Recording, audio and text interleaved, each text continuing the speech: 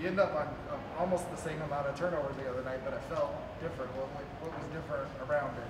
I think when things don't go your way, like you miss your first shot or um, you get a, a, foul, kind of a quick whistle on you, we've got to kind of overcome that a little bit better. So I think this was a good opportunity for us to learn and grow. Um, we're still want to pressure defense, but we also have to we have to learn as the game goes along. You know, if, if they're beating us long or if they're beating us off the dribble, we might have to cushion a little bit more. Um, it was a good game for us to kind of make in-game adjustments, and I think we can get better at that. But you know, we'll, we'll, ta- we'll take it. Um, it's going to be a process, and you're going to have some really good games, and then you're going to have some games that there's going to be a lot to work on afterwards. So we just need to take that in stride. Imagine with the system being new to the whole team, there's nothing more valuable to you than film, game film to show them right now. Yeah, and our kids are actually really good game film wise when it comes to seeing it, and they're like, "Oh yeah, you're right, coach. I did do that," and then kind of getting better on the court. So that's something we're we're always improving on. Um, and we'll definitely watch this game. We've got a quick turnaround though. We got to prepare for LMU, but definitely learning opportunities are important. there you go. You just gotta be still. She, uh, Katie showed some of the special things that she can. Uh, the play that jumps out in mind was the the backcourt steal and then the wraparound scoop. That's a lot of a lot of perimeter type skills move there by a big player. Yeah, Katie's um, definitely got a lot of finesse to her game, and she's pretty savvy on the offensive end.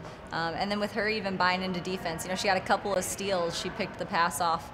Um, the half court pass off for a time or two. We just need to do that consistently, and then we're always going to work on rebounding with her. But yeah, when Katie can score in droves, and I think she showed that tonight.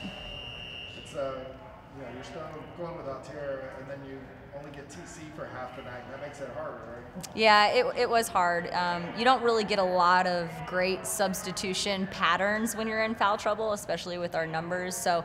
Um, when you can't sub how you want, that restricts you a little bit. So we had some kind of wonky lineups out there at times that we normally wouldn't have if we didn't have foul trouble. But again, it's a good thing. It's a good practice to work through some of those things early.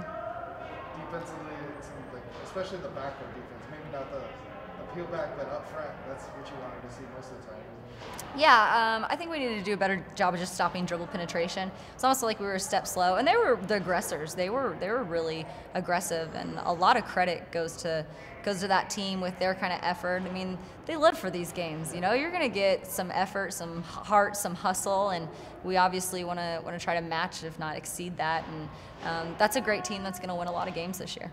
Yeah, there's something you said like they they had confidence as the game went longer they stayed in it, but you never let them come all the way back.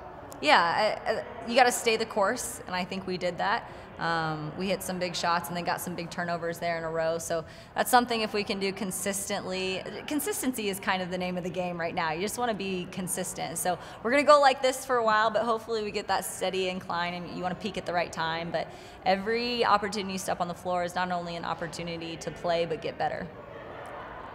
Did mom do a good job? Thanks, she has to say that.